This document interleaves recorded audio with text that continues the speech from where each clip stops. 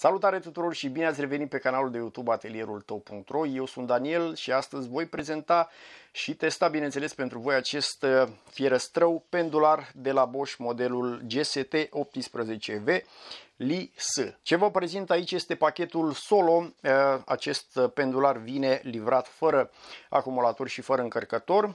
Conținutul pachetului de livrare este acesta, cutie de carton în care vine livrat pendularul și în care găsiți și o inserție pentru L-box.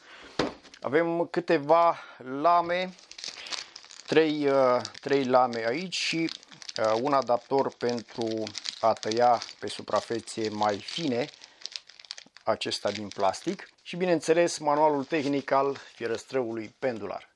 Bosch GST 18V Li-S este un fierăstrău pendular care funcționează cu acumulatorii de 18 V de la Bosch, atât aceștia din gama un pic mai veche, GBA, am aici un acumulator de 5 Ah, cât bineînțeles și cu cei din gama Procore pentru că sunt uh, compatibili. Slotul pentru acumulator este aici în spate, aceștia intră foarte ușor aici și în acest fel l-am cuplat la energie electrică și putem să ne începem uh, treaba. Este gândit, așa cum îl puteți observa după formă, mai mult pentru operațiunile uh, de tăiere de jos în sus, se poate ghida foarte, foarte bine pe sub piesă de aceea are acest format, iar aici observați că avem un, uh, un capăt un pic mai ridicat, pe acesta îl putem folosi ca punct de sprijin atunci când vrem să menținem acest fierăstrău pendular foarte drept pe piesa de lucru. Zonele de prindere, așa cum observați, sunt uh, foarte bine îmbrăcate în zone siliconate, atât partea de deasupra unde îl vom ține cu uh, palma, cât și partea de sus, unde de asemenea îl putem ține cu a doua mână. Sunt îmbrăcate într-un silicon Uh, care aderă foarte, foarte bine la pielea din uh, mână. Talpa pendularului este una metalică, este din aluminiu. Observați că are o a doua talpă aici din plastic. Aceasta va aluneca foarte ușor pe piesa de lucru și are rolul și de a proteja suprafețele un pic mai fine, cum ar fi palul sau alte suprafețe fine, ca să nu le zgâriem atunci când efectuăm uh, operațiunile de Uh, debitare cu acest fierăstrău pendular. Prinderea pânzelor este una extrem de simplă, un lucru care îmi place foarte mult la acest uh, fierăstrău pendular. Nu va trebui să facem nimic în momentul în care introducem pânza, doar trebuie să o împingem.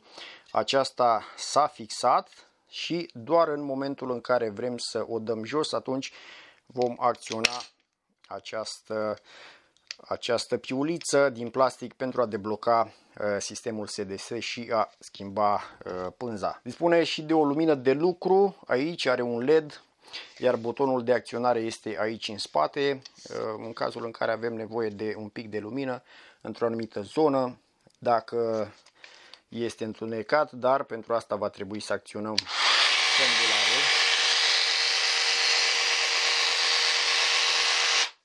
Se pare că lumina nu stă aprinsă decât atunci când este în uh, sarcină. Aici în partea stângă, așa cum observați, avem un regulator în patru trepte de unde putem să setăm uh, pendularea orizontală la nivelul 0 aici este oprită și mai avem încă 3 uh, trepte. Bineînțeles, aici undeva la maxim pendularea o să fie mult mai agresivă. Această rotulă o să culiseze față-spate, în acest fel o să ajute lama în timpul tăierii.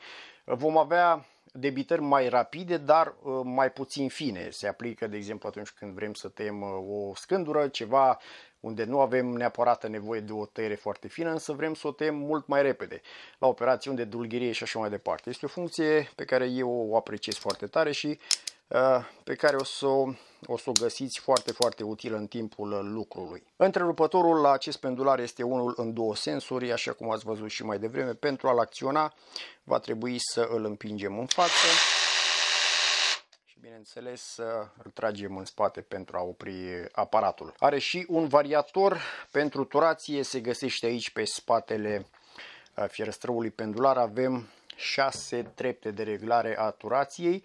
Vom putea seta uh, numărul de uh, curse de la viteza 1 până la 6 între 550 și 2700 de uh, curse pe minut. Greutatea acestui fierăstrău pendular este de 1,8 kg.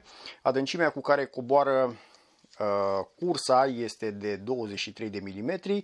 Vom putea debita cu adâncime maximă în lemn uh, cu 120 de mm, în aluminiu 20 de mm, iar în oțel 8 mm. Haideți să urmărim câteva teste în sarcină pe care le-am făcut cu acest fierăstrău pendular pentru a vedea cum se comportă în anumite situații de lucru.